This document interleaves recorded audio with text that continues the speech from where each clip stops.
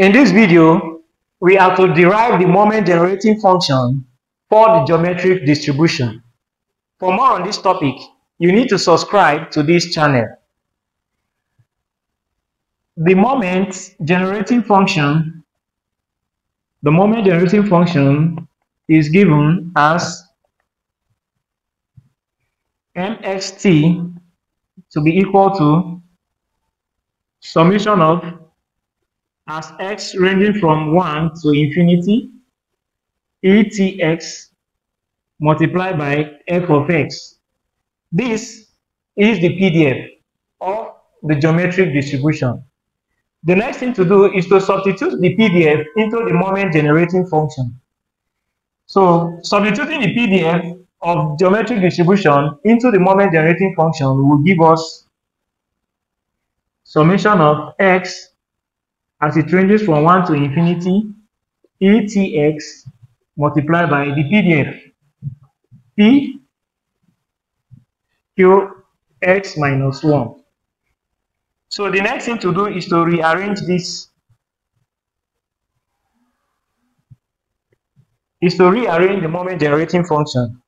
Rearranging it, we can write it as the moment generating function to be equal to, we bring down this Hmm. p summation of x as it's ranging from 1 to infinity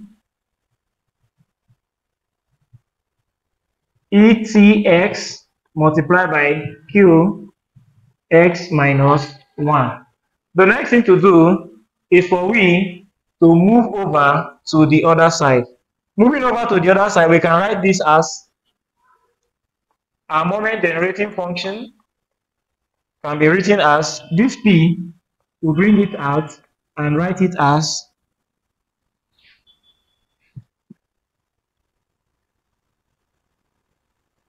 t plus q e 2t plus q squared e 3t and it continues that way. Of course, we can deduce something out of it. We know from Taylor series from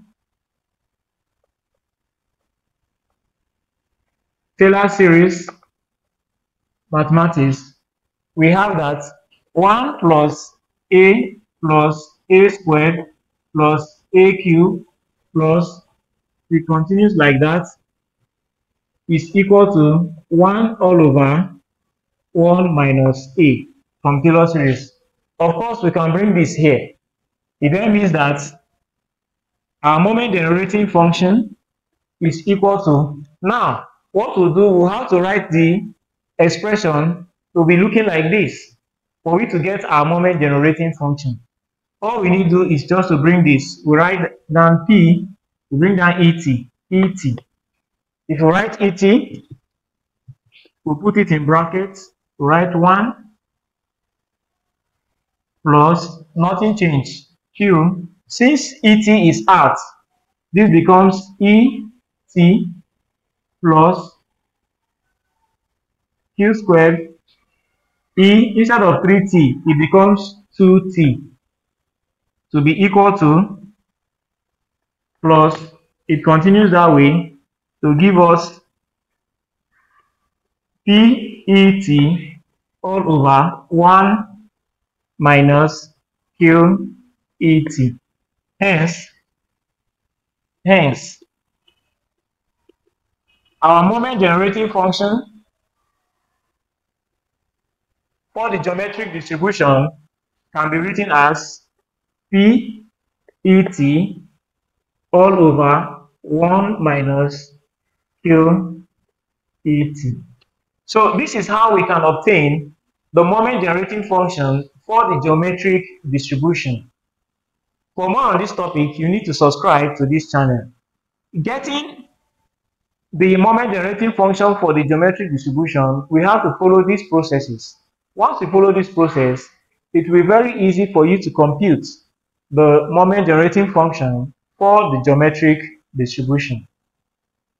So this becomes the moment generating function for the geometric distribution.